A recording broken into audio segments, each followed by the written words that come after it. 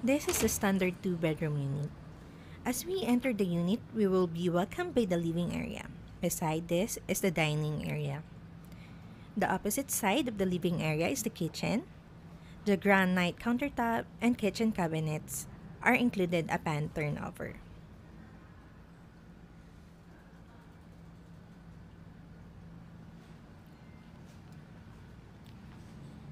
This is the toilet and bath. Granite sink and fixtures such as faucet, rain shower are included. The glass partition is an upgrade and not included. Now we are looking at the utility area where we can put the washing machine for laundry. We can convert this a storage or pantry area.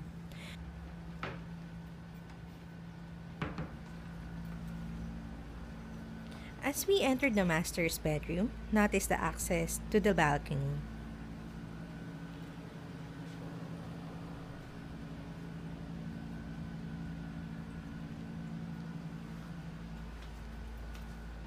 Let's move on to the second room. This could be your children's room or office.